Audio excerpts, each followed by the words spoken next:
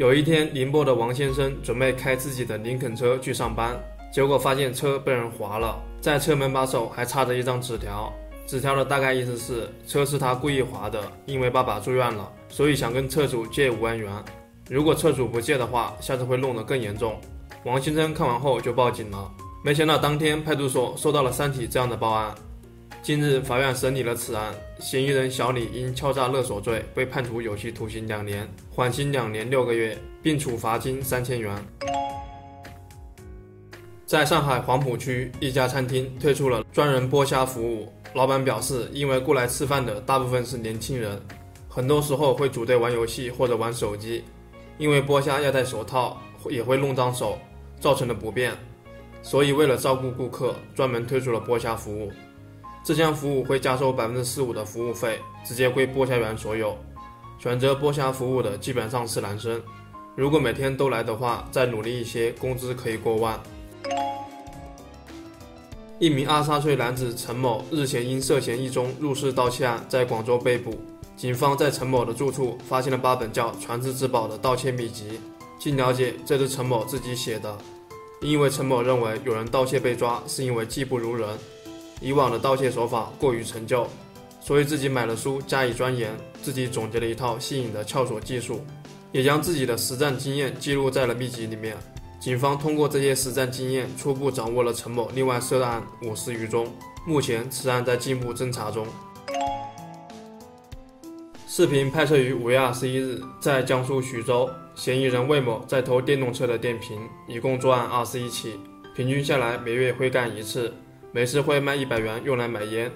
目前嫌疑人魏某已被警方抓获。你为什么会去偷电动车的电瓶？因为我因为我的烟瘾比较大，工资都交给媳妇了，每月只有每月每个月只有五十到一百元一百元零花钱。刚开始为了买买点烟就偷了电瓶，后来一次一次一次一次就偷多了。又到了一年一度的毕业季，近日有份调查显示。百分之十六点七的受访者为庆祝毕业花费在一千元以下，百分之四十点五的受访者为庆祝毕业花费在一千到三百元，百分之四十二点八的受访者会为庆祝毕业花费在三千元以上。毕业季安排的项目主要是聚餐、好友互送礼物、拍摄毕业写真，还有毕业旅行、给朋友送行等项目。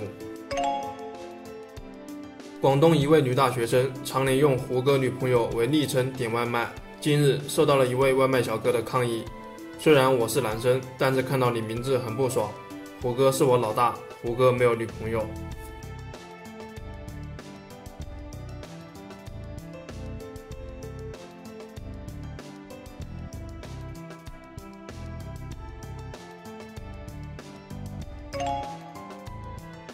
驻军到了中午的提神醒脑环节。